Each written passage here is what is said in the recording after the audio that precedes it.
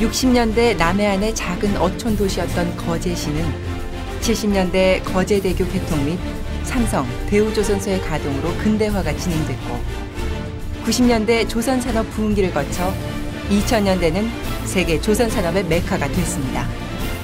또한 거가대교의 개통으로 부산, 통영, 마산, 진해, 창원 등 2시간 생활권 내 천만 인구의 지역 경제권을 확보하여 명실공히 2020 세계적 해양 도시로 새롭게 도약하고 있습니다. 이러한 거제시의 비전을 실현하는 고현항 재개발 사업은 노후 항만 기능 개선과 재개발을 통해 도시를 건강하게 재생시키는 사업이며 총 사업 기간 7년, 총 사업 구역 91만 9천 제곱미터, 사업비 7천억 원이 넘는 대규모 개발 사업입니다. 본 사업은 2012년 4월 고시된 항만 재개발 기본계획 수정계획을 근거로 하였으며 수정계획의 취지는 항만 재개발 사업 활성화를 위한 민간 참여 유도 및 창의적인 계획 수립을 목표로 하고 있습니다. 본 사업지는 도시 공간적 측면에서 장평과 고현, 수어를 연결하는 중심 역할이 기대되며 도시 서비스 측면으로는 상업, 업무, 문화, 관광, 교육 인프라가 집약된 새로운 지역 경제 거점으로서의 발전 잠재력을 확보하고 있습니다. 기존의 기본 계획은 인공섬이라는 상징성은 확보하고 있으나 기존 구도심의 바다 대면에 대한 배려가 낮고 신규 매립지 또한 바다와의 일면 대면이 단점입니다. 본 사업 제안은 기존 도심에서 5분 거리에 바다를 만날 수 있으며 신규 매립지도 3면을 바다와 대면하는 피어 구조로 계획, 도시 전체를 하나의 아일랜드로 제안합니다. 또한 단지 외곽에 집중되었던 공원 녹지도 친수공원, 녹지공간, 테마공원으로 분산 배치하고 프로그램이 연계되는 특화 계획을 수립했습니다. 위와 같은 분석을 통한 본 사업의 컨셉은 바로 빅 아일랜드입니다. 본격 친수 해양 도시이자 지역민의 새로운 경제 거점, 활력과 품격 있는 커뮤니티가 살아 숨쉬는 빅 아일랜드는 고현항 재개발을 통한 도시 재생의 새로운 패러다임을 제시합니다. 세 가지 도시 구성 전략 중 첫째, 이너하버 시티는 피어 형식의 도시 구조를 통해 친수 대면율을 극대화하여 3.3km에 달하는 친수 공공보행로를 계획해 거제 시만의 독특한 보행 환경을 조성합니다. 둘째, New CBD는 기존 도심에서 확보되지 못한 상업, 업무, 주거, 관광 중심 기능을 확충해 새로운 지역 경제 거점을 구현하고자 했습니다. 특히 기존 도심과의 유기적 연결을 통해 신구도심의 시너지를 극대화할 계획입니다. 셋째, multicultural city는 부족한 공공, 공익시설 용지를 배치하는 것뿐만 아니라 복합 커뮤니티 센터, 공원, 광장을 유기적으로 네트워크화하여 도시민의 삶의 질과 연관된 컨텐츠를 제공할 계획입니다. Big Island는 크게 4개의 지구로 구성되었습니다. 첫째, 해양 문화 관광 지구는 하버 페스타를 테마로 조성된 상업 업무 특화 권역이며 둘째, 복합 항만 지구는 마리나, 여객 터미널, 호텔 등이 연계된 해양 레저의 핵심 권역입니다. 그리고 공공시설 지구는 수변 공원축을 중심으로 한 복합 커뮤니티 연계 권역이며 마지막 복합 도심 지구는 공원 속의 쾌적한 주거 단지로 계획했습니다. 공익성 우선을 목표로 용도 배분은 공공시설 용지 50%를 우선 배분하였고 CBD 중심 기능 보완을 위한 상업, 업무, 관광 기능 20%, 교육, 문화, 체육, 종교, 주차장 등 공익시설 용지를 약 5% 배분했습니다. 자녀 용지는 고현 지역의 부족한 주택 공급을 위한 주거 용지로 배분했습니다. 다음은 4개로 구성된 지구별 세부 계획입니다. 국내 최초의 이너하버 스트리트몰로 구성된 해양문화관광지구는 총 3개의 권역으로 구성했습니다. 상업 1블럭은 라이프스타일 센터 개념의 Market Square로 조성되며 상업 2블럭은 보스턴의 Fishery Market과 같은 관광 어시장과 수변 street mall이 조화를 이루는 매력적인 상업가로의 명소가 될 것입니다. 마지막 업무 블럭은 CBD와 inner harbor를 내려다보는 전망 좋은 업무 시설인 Biz Square로 개발될 것입니다. ocean front에 접한 복합 항만 지구는 도시 전체의 경관 포인트를 형성하는 ocean view 호텔, convention, marina, 비즈니스 호텔로 구성하여 수준 높은 해양 문화를 만끽하고 지역민이 컨벤션 시설을 이용할 수 있도록 계획했습니다. 또한 인근 여객터미널과 연계해 거제시 관광의 거점으로 개발될 것입니다. 고현천과 연초천이 합류되는 공유 수면을 포함한 공공시설 지구는 시카고 밀레니엄 파크와 같이 문화와 예술이 공원과 결합된 수변으로 열린 공공 공간입니다. 신구도심이 조화롭게 공유되는 예술 문화, 생활 체육 시설과 더불어 지역의 명소가 될 가로수길 카페 거리가 조성됩니다. 바다를 마주하는 명품 주거 단지로 구성되는 복합 도심 지구는 슈퍼블록으로 계획하고 open space를 최대한 확보함과 동시에 학교와 커뮤니티 시설을 배치하여 안전하고 쾌적한 거주 환경을 극대화했습니다. 각각의 입주민들은 ocean view와 단지 내 공원이 동시에 확보된 명품 해양 주거 단지를 경험할 수 있습니다. 다음은 분야별 기술 계획입니다. Big Island는 세 가지의 경관 테마가 있는 통경축을 확보해 구도심에 대한 경관적 배려와 신도심의 장소적 매력도를 높이고자 했습니다. 세부적으로 도심 상징 경관, 해안 파노라마 경관, 수변 마켓 경관, 휴양 문화 경관으로 구성됩니다. 이는 야경에서도 각각 다른 테마로 계획해 도시의 장소성에 큰 기여를 할 것입니다. 공원 녹지 계획의 컨셉은 두 개의 수변 공원과 공원을 이어주는 두 개의 녹지 벨트입니다.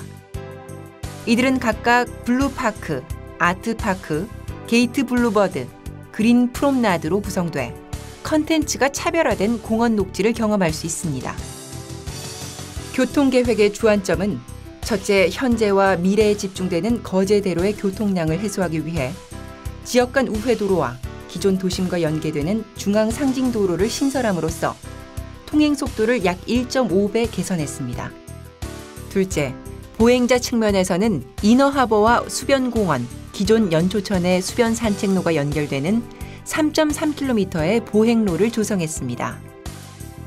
항만 시설은 재개발 기본 계획에 따라 다섯 가지로 구성했습니다. 여객 부두는 접근성이 가장 용이한 전면 해상에 배치했으며 일반 부두는 현재 운영 중인 모래 부두와 연계해 항만 물동량의 효율적 처리가 가능하도록 계획했습니다.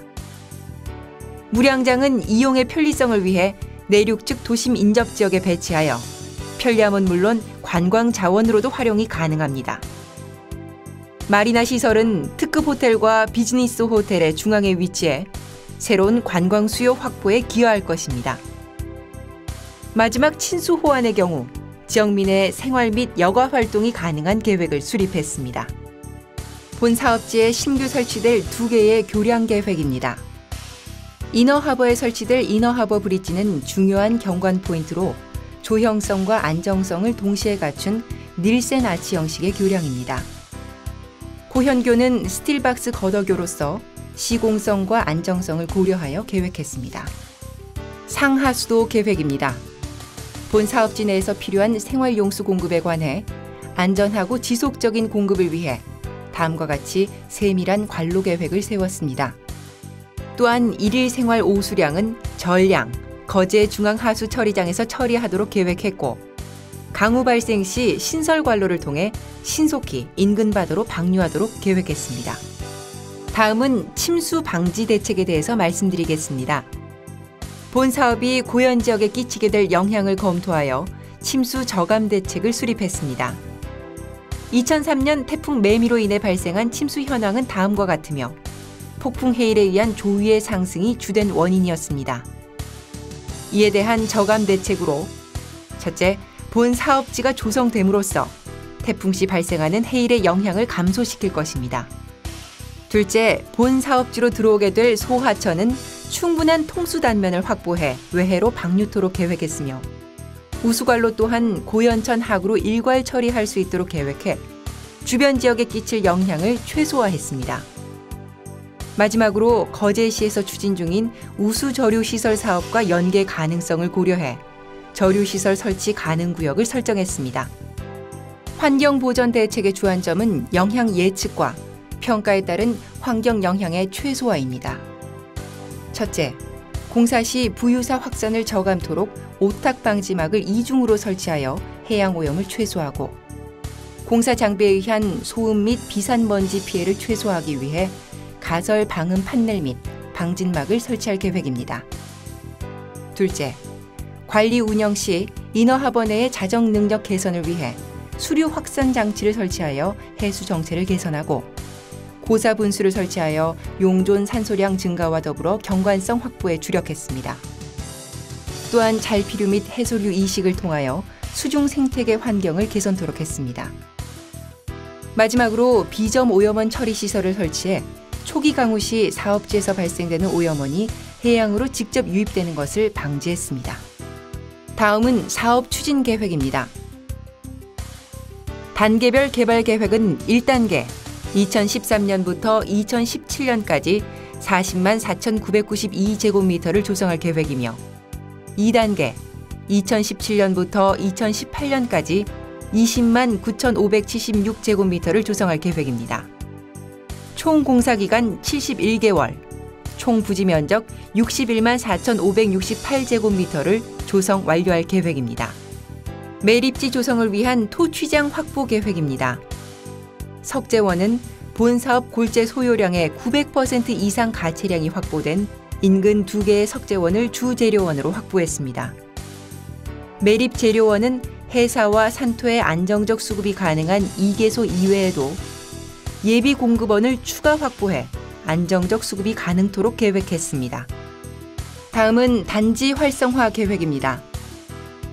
place marketing은 도시 자체가 곧 상품이 되는 계획으로 장소 가치를 극대화하여 도시를 브랜드화하는 방안입니다. 본 사업의 경우 이너하버와 수변공원, 중앙 상징가로와 복합 항만지구가 place marketing의 핵심 포인트가 될 것입니다.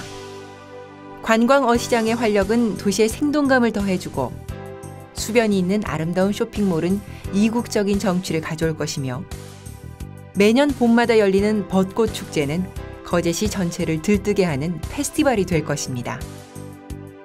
수준 높은 야외 조각이 전시돼 있는 아트파크는 지역민의 문화지수를 상승시키며 이너하버 브릿지와 정박돼 있는 요트들은 국내 최고의 미항 이미지를 남기게 됩니다. 바다에 접한 종착점에 선셋 스퀘어와 빨간 등대를 주제로 한 photo zone을 계획했습니다. 도시의 지속 가능성을 위해 반드시 필요한 town management 계획입니다. TMO 제도를 도입해 타운 전체의 통합 운영 관리, 도시 이벤트 프로그램, 상업 활성화 등을 추진하여 지속 가능한 도시 브랜드를 창출하겠습니다. TMO 제도를 시행하여 성공한 실제 사례로 타카마츠 마루가메 마치 마을 만들기를 소개하겠습니다. 상가 조합을 중심으로 TMO 설립 후 town management를 성공적으로 진행하여 상가 매출이 3배로 증가하는 등 도시 활성화에 큰 기여를 한 사례입니다. 사업 참여자 구성 및 용역사 컨소시엄입니다. 거제 Big Island는 부산 북항 재개발 사업을 현재 진행하고 있는 GS건설이 참여하며 온산 국가산업단지 매립 시공 경험이 있는 부강 종합건설이 함께합니다. 경험과 신뢰를 바탕으로 민간 컨소시엄과 거제시가 함께 사업의 성공과 거제시 도시발전 비전을 구현할 것입니다. 바다를 품은 도시, 도시를 품은 바다. 빅 아일랜드는 구도심에 대한 배려가 있는 도시입니다. 그리고 거제 바다라는 천혜의 자연 조건을 충분히 활용한 도시 구조로 계획됐습니다. 또한 어디에서나 적용되는 도시가 아닌 거제시에 대한 깊이 있는 이해를 바탕으로 사업 계획을 수립했습니다. 지역민과 더불어 많은 사람들에게 사랑받는 미항 도시의 정취가 살아 숨쉬는 도시를 만들겠습니다.